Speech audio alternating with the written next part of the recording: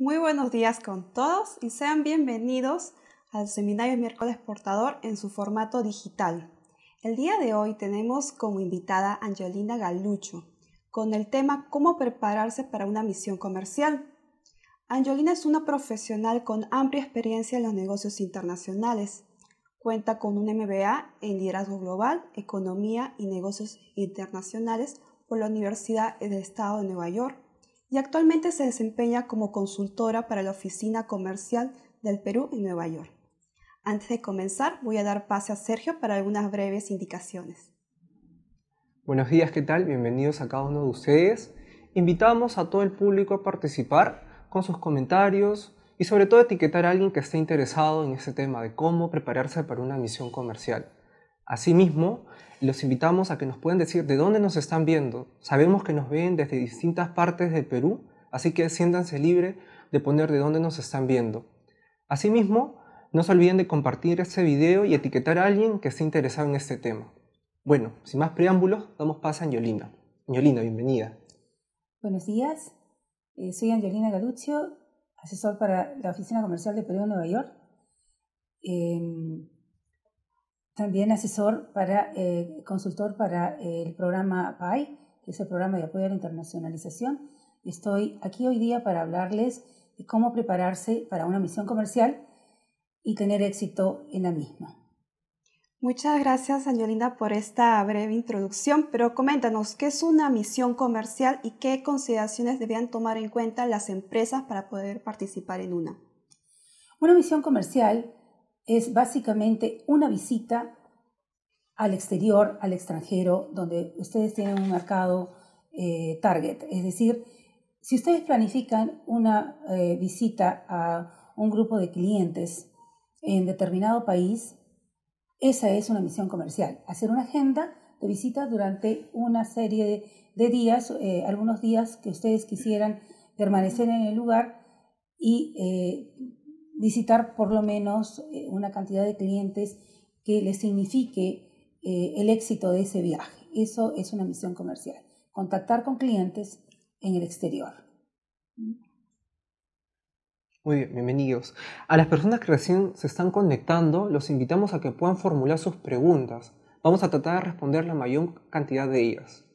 Eh, bueno, Angelina, ¿cómo saber si mi producto es apto para el mercado de destino? Mi recomendación siempre es, si ustedes eh, no han hecho exportaciones previas, es contactarse con PromPerú. Existe un programa que es la ruta exportadora. La ruta exportadora les enseña a saber si eh, su producto es bueno, si está calificado para el mercado exterior y sobre todo para el mercado de destino al cual ustedes han escogido. Es muy importante que ustedes pasen por todos los pasos y todos los procesos de la ruta exportadora eh, tienen los pasos desde el inicio para eh, evaluar si su producto está calificado para entrar a ese mercado hasta lograr el último paso que es la exportación. Es, es muy importante conocerlo. Y en el caso de una empresa con un potencial exportador y que no tenga contactos comerciales, ¿quién podría brindarle una agenda de visitas? En el ah, país de destino tenemos oficinas comerciales que son las OSEX, las OSEX eh, de diferentes eh, ciudades, de diferentes países. Em, les aconsejo siempre que primero contacten a PromPerú. Si ustedes son del sector textil, contacten a las personas del sector textil. Si ustedes son del sector eh, agroindustrial, pues contacten a las personas encargadas en PromPerú del sector eh, agroindustrial, de tal modo que los puedan dirigir a qué eh, destinos llegar y también evaluar el producto, ¿no?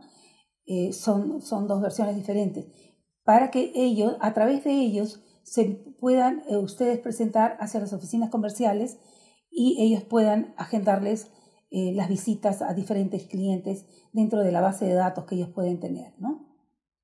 Listo. Eh, ¿Con cuánto tiempo de anticipación debería contactarme con PromPerú o las OSEX eh, para, para tener apoyo en el armado de agendas? ¿Cuánto tiempo de anticipación considerarías?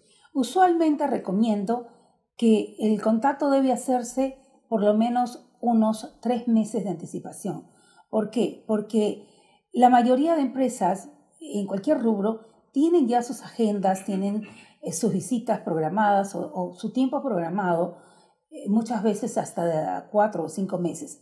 De tal modo que eh, si ustedes se programan con la anticipación de vida, esa agenda puede lograrse a tiempo. Nunca programen una agenda una semana antes a la cual ustedes han decidido viajar, porque generalmente si ustedes van a viajar, no, no deben decidirlo una semana antes. Primero porque los pasajes y estadías son mucho más caros. En cambio, si ustedes preparan una agenda con toda la anticipación del caso, no solamente les va a evitar un uh, costo adicional por el, pasaje eh, que puede costar muy caro o la estadía muy cara. Y por último, no conseguir la cita, siendo que es muy cercana a la fecha que ustedes están programando, de tal modo que eh, se pueda lograr, ¿no? Se pueda lograr esos días de visita, eh, agendas que puedan eh, ocupar durante las horas en que están en cada día. Es decir, digamos que si tienen una agenda en la mañana, se pueden lograr dos o tres visitas dependiendo de las distancias, ¿no?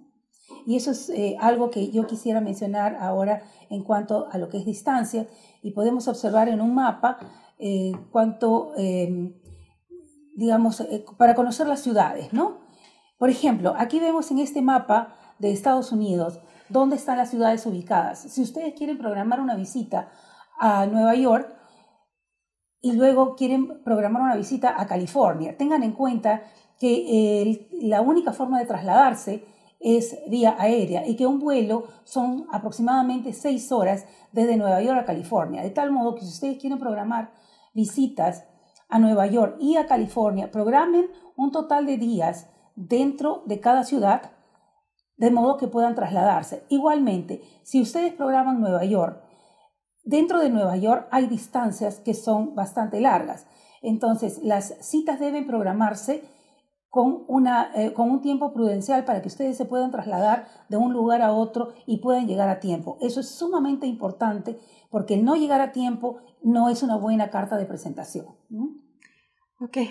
Para aquellas empresas que están interesadas en participar en misiones comerciales, no se olviden que pueden ingresar a través del portal Match, que a continuación debe estar apareciendo por sus pantallas. Es www.match.promperú.gb.p, justo aquí en el cual van a encontrar las próximas actividades de promoción comercial, como tanto una rueda comercial, una misión comercial y sobre todo pueden encontrar los criterios de participación.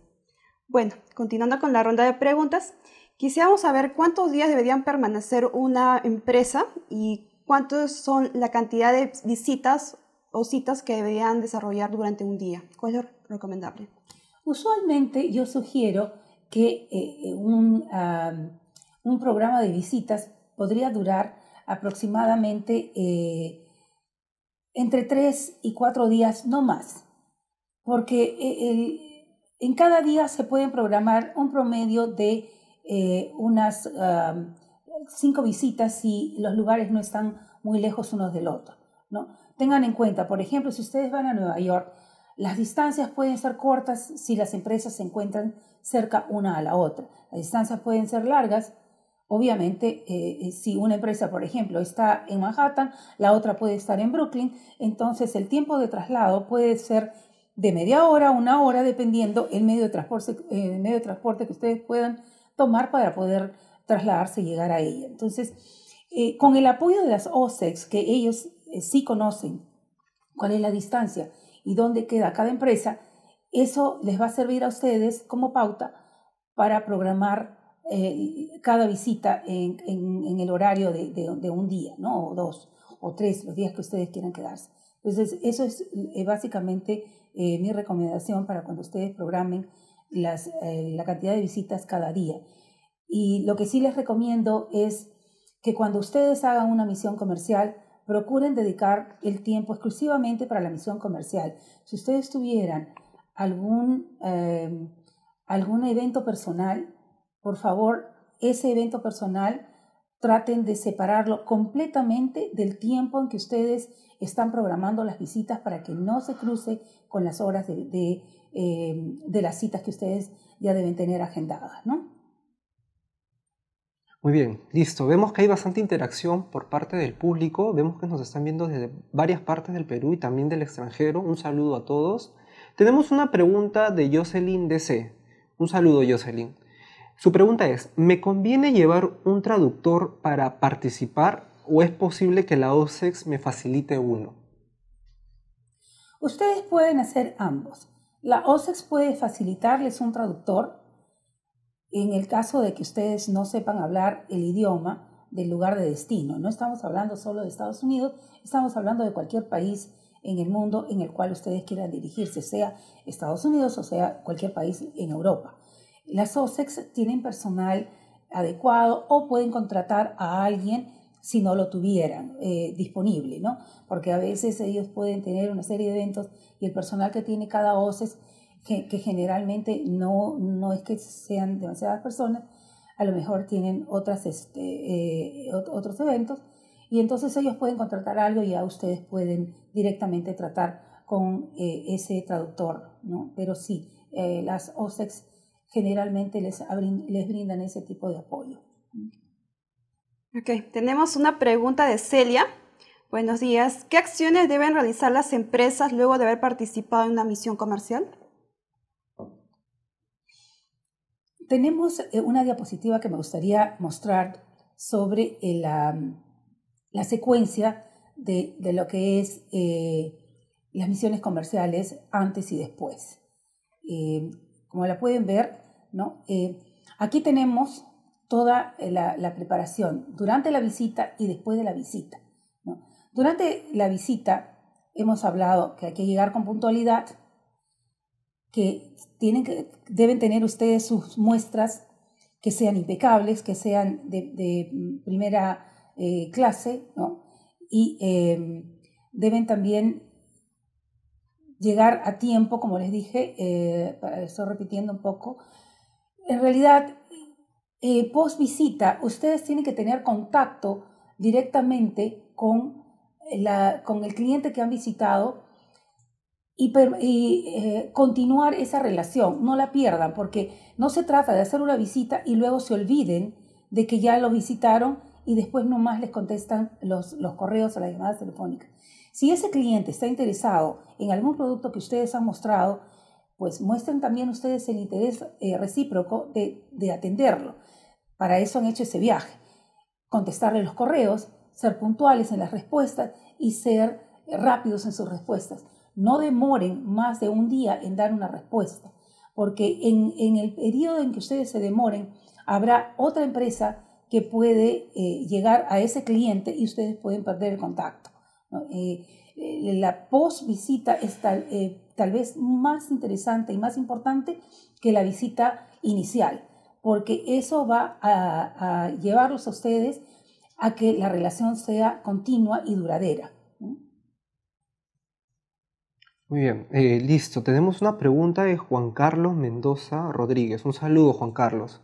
Su pregunta es, ¿cómo debo hacer eh, el ingreso de mis muestras? ¿En mi maleta? ¿Las OSEX nos ayudan en ese aspecto? Las OSEX son ah, oficinas de mucho apoyo. Realmente eh, ustedes pueden contar con las OSEX si tuvieran, por ejemplo, si ustedes van a una feria y para no cargar con, con ustedes las, las, muestras, las pueden enviar previamente, las pueden enviar por un courier, puede ser eh, un DHL o un Federal Express que pueda llegar rápidamente y las OSEX pueden apoyarlos en ese sentido. El hecho de llevar muestras en una maleta puede conllevar a tener problemas con la aduana en Estados Unidos. Tal vez ustedes puedan llevarlas, pero deberían llevar todos los, eh, todos los documentos necesarios para poder ingresarlo, como muestras de feria. Entonces, si van a hacer eso, tienen que llevar una factura comercial que sea sin valor comercial y, son, deben señalar que son muestras para feria. Pero esas muestras ustedes deben regresarlas con ustedes. Deben mostrar a la aduana de Estados Unidos cuando salen que están retirando las muestras del mismo modo en que ingresaron al país para evitar cualquier inconveniente. Pero mi eh, mejor sugerencia es que ustedes puedan eh, llevar, eh, enviar las muestras con anticipación, que ya estén allá. De ese modo se aseguran que las muestras llegaron y las OCES, las pueden ayudarlos a que se reciban en destino, ¿no? Y ya ustedes solamente podrían colocar sus muestras si van a una feria o si van a la misión comercial, ya saben que las prendas están allí o sus productos están allí para poder eh, transportarlos en los momentos de las citas. Que generalmente las citas suelen ser acompañadas por una persona de la OSEX, ¿no? Y eso es importante porque les puede dar tal vez más eh, respaldo en cada una de las citas que ustedes tuvieran en el lugar de destino. Aquí tenemos una pregunta de Pedro Saldarriaga. Eh, en Estados Unidos es un poco difícil contactar las cadenas de supermercados ya que trabajan con brokers. ¿Hay alguna forma de contactar directamente ya que con estos intermediarios? Sí, eh, las OCEs generalmente tienen una base de datos que pueden contactar directamente a los brokers si fuera el caso o a través de eh, los mismos supermercados. Eh, hay una relación, en el caso, por ejemplo, de Nueva York, hay una relación bastante estrecha con la mayoría de supermercados y se conoce a quiénes son los, quiénes son los compradores.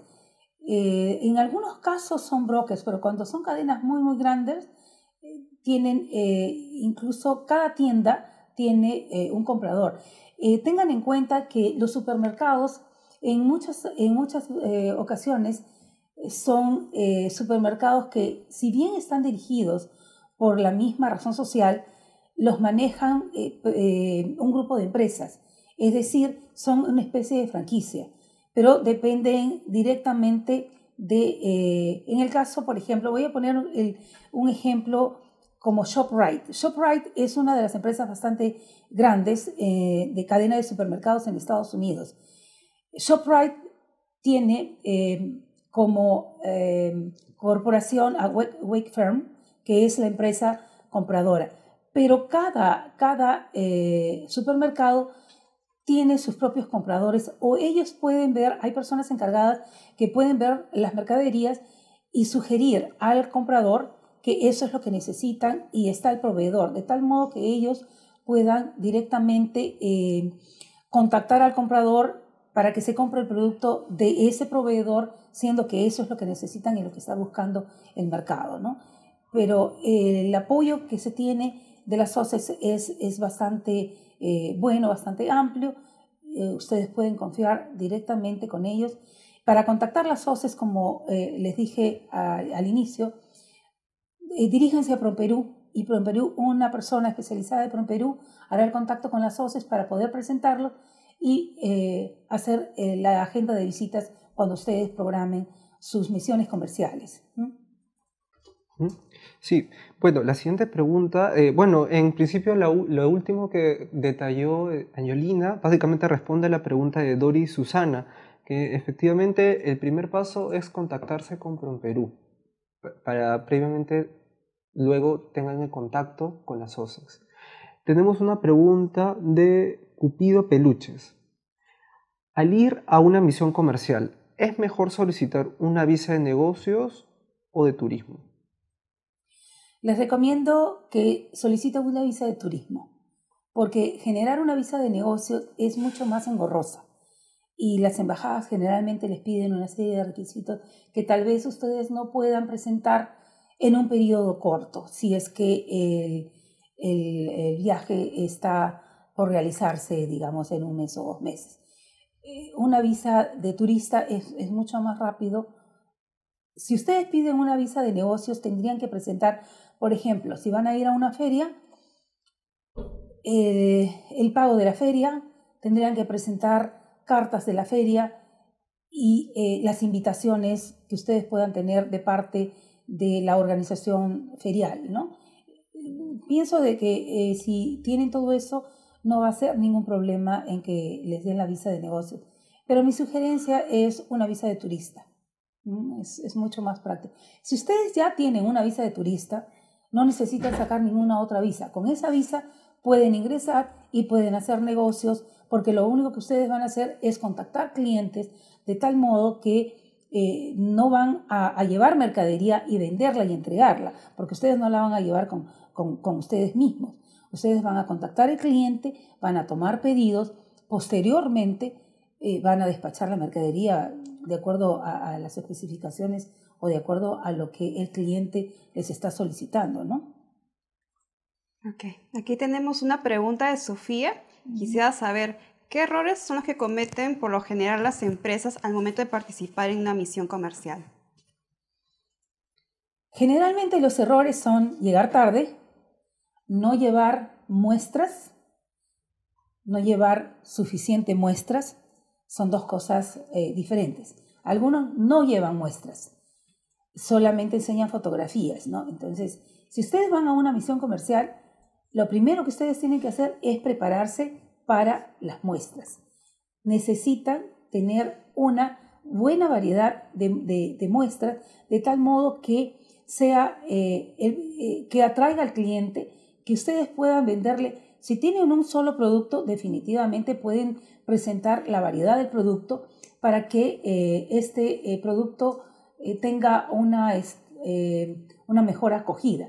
Pero si ustedes no van con muestras, definitivamente, no, ¿qué es lo que van a vender? Ustedes necesitan tener el producto en la mano, enseñar sus cualidades enseñar eh, el, eh, el, tipo de producción, enseñar las, em, las bondades del producto, ¿no?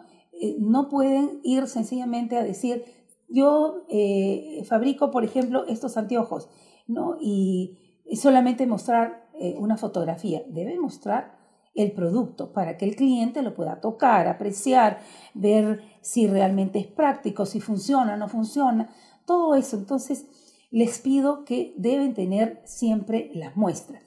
Además, por ejemplo, si ustedes tuvieran, si ustedes fueran del sector textil, les recomiendo siempre que vayan con una, con una tablet donde ustedes tengan un lookbook para que les muestre la variedad de productos que ustedes tienen al cliente. Les puedan decir, bueno, tengo este producto, además yo confecciono tal y tal estos otros, que aquí están las fotografías, no necesitan ir con un cargamento de productos. Basta llevar con ustedes eh, una muestra significativa, es decir, unas eh, tres, cuatro o cinco prendas que puedan mostrar y el resto lo pueden mostrar a través de lookbook con fotografías para que el cliente tenga una mejor idea de todos los productos que ustedes pueden ofrecer o que pueden trabajar. Entonces, pienso que eh, es la mejor manera, la manera más práctica de cuando ustedes visitan al cliente. Yo quisiera agregar algo. No es solamente eh, el producto, también es muy importante, hay una secuencia de, eh, de cosas que se tienen que aprender en una misión comercial. Es muy importante que ustedes aprendan de la cultura de la otra persona, del país. Una de las cosas más importantes es que cuando ustedes van a una misión comercial vayan bien presentados vayan bien vestidos, no se vistan de fiesta, vístanse de eh, negocios, una manera, em, digamos, em, clásica, donde no presenten tantos colores en su vestido porque eso puede alterar a la otra persona. Entonces, ustedes tienen que conocer cuál es la cultura de la otra persona. Punto número uno. Punto número dos, al momento de saludar, den la mano. Es muy importante que solo den la mano. Un apretón de, manos es el saludo formal cuando se visita a un cliente, por primera, por segunda, por décima y, centésima vez. Así sean muy amigos. Y recuerden siempre que los clientes son clientes por muy cercana que pueda eh, eh, llevarse la relación con el tiempo. Los clientes son clientes, en el negocio son cliente proveedor no, no eh, hablo de que tiene que haber un hielo entre el cliente proveedor, pero sí acuérdense siempre de mantener esa distancia para que nunca se rompa ese vínculo del negocio, que es serio. Porque el otro problema que se puede presentar es que cuando se crea una amistad, puede conducir a que de pronto ese cliente deje de ser serio y después pueda no pagar los pedidos que ya tiene en visión. Por otro lado, también les aconsejo de que sean muy puntuales. Si se dice que ustedes tienen que llegar, si se acuerda, a las 9 de la mañana, no lleguen a las 9 y 10 o 9 y 20. No hay tolerancia.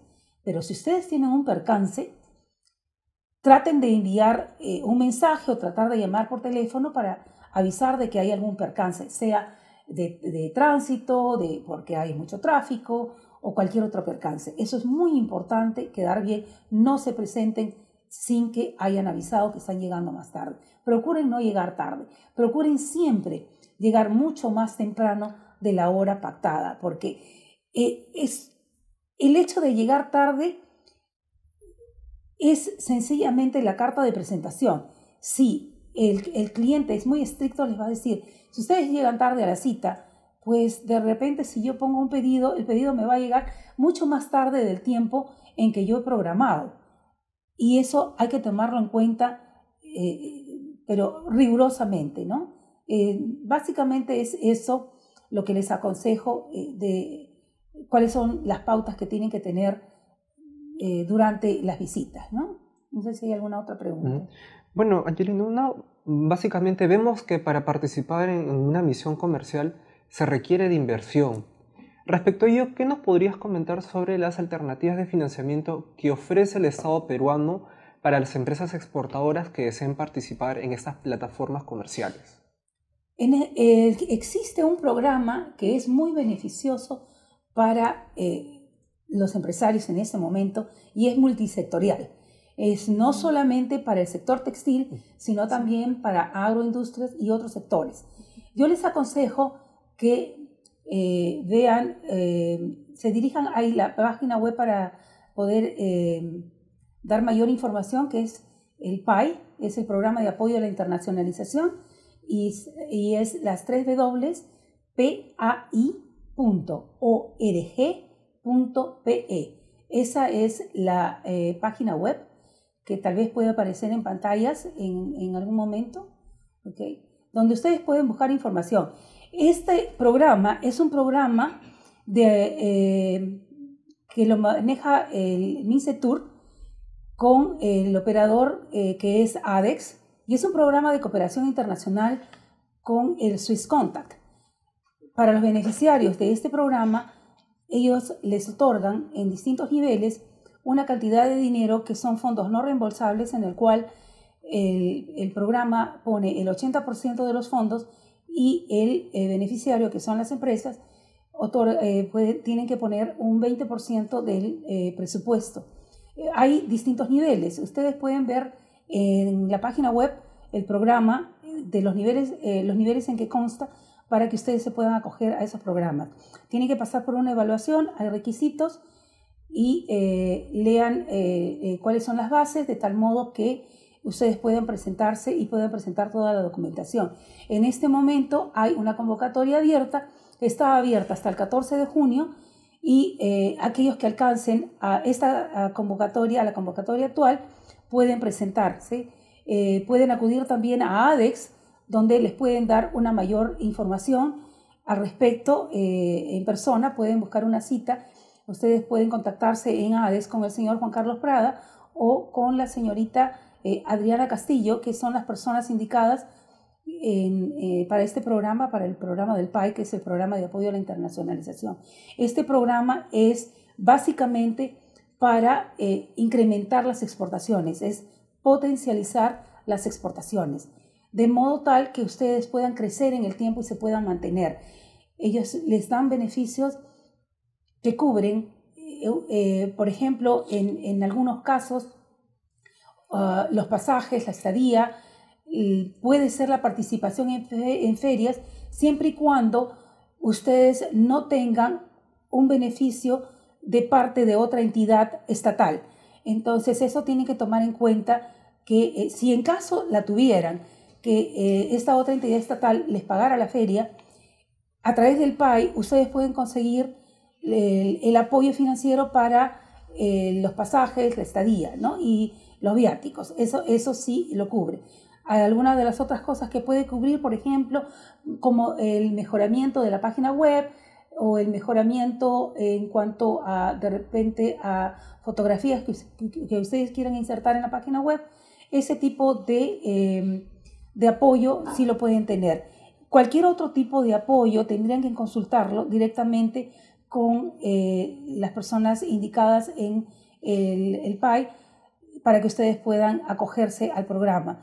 Es un programa muy beneficioso, de modo que les pido, si ustedes están interesados, no dejen de participar, de aplicar a ello, traten en la medida de lo posible de conseguir la mayor cantidad de, información. Después de esta convocatoria, es probable que hayan por lo menos unas dos convocatorias más que serían cada dos meses aproximadamente. Si ustedes no logran participar en la convocatoria que está abierta todavía, procuren tener toda la información y la documentación posible para que puedan presentarse en las eh, futuras convocatorias y no pierdan esta oportunidad que es una ventana abierta a poder llegar a los mercados de destino que a veces por falta de financiamiento ustedes no pueden llegar. Ok, antes de cerrar nuestra sesión en vivo, quisiéramos que nos pueda recapitular los puntos más claves para poder participar en una misión comercial.